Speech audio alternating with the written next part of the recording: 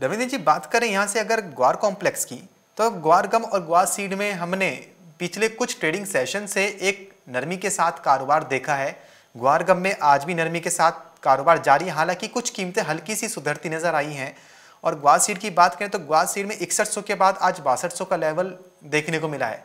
आपको क्या लगता है, क्या ग्वार में वॉलेटिलिटी ज़्यादा है या स्पेकुलेशन की वजह से इतना देखने को मिल रहा है?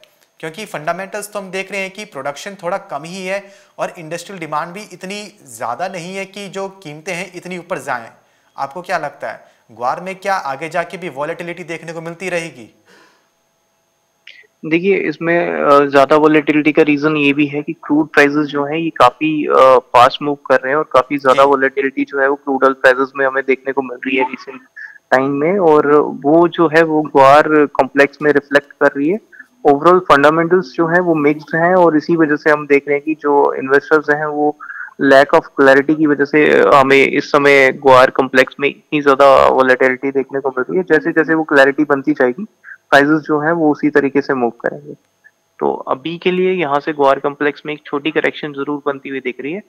फर्दर ग्वार सीट जो है, ये सिक्स थाउज़ेंड तक के लेवल डाउन साइड में टेस्ट कर सकता है। वही ग्वारगम की बात करें तो ग्वारगम में भी सेलिंग बनती हुई दिख रही है। दस आठ सौ तक के लेवल इसमें भी देखने को मिल सकता है। जी।